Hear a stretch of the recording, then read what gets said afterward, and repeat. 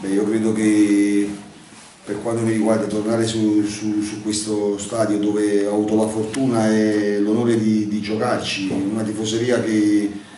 la mia non è eh, carineria ma una tifoseria che mi ha dato tanto, eh, porto nel mio cuore tanti episodi e tante, tante gare fatte su questo stadio, quindi voglio dire da parte mia c'era un pizzico di emozione di tornarci anche se non è la, la, la, la vera Ischia, ma non per,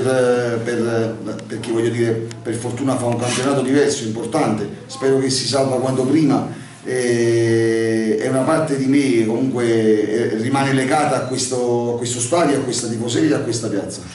Mister Nudo, lo segue ancora l'Ischia in, in Lega Pro, l'attuale Ischia Sola Verde è un momento molto difficile, lei pensa che l'Ischia si possa salvare, ma soprattutto quali sono le carenze in questo momento che stanno rendendo il momento giallo-blu molto molto difficile? Quattro sconfitte consecutive, terzultimo posto in classifica, situazione un po', un po', complicata. Seguo tanto l'Ischia come, se, come,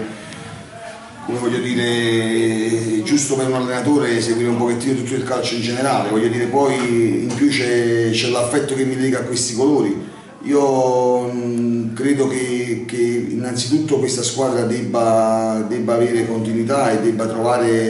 eh, le giuste motivazioni per poter eh, tirarsi fuori da un momento negativo. Eh, hanno un tecnico importante, eh, purtroppo la striscia negativa li, li, tira, li tira molto giù in classifica. Spero che possano da domenica prossima in casa iniziare un pochettino a cambiare rotta e a cercare di salvare perché questa piazza voglio dire, non può ritornare nel calcio dilettantistico e merita sicuramente palcoscenici diversi.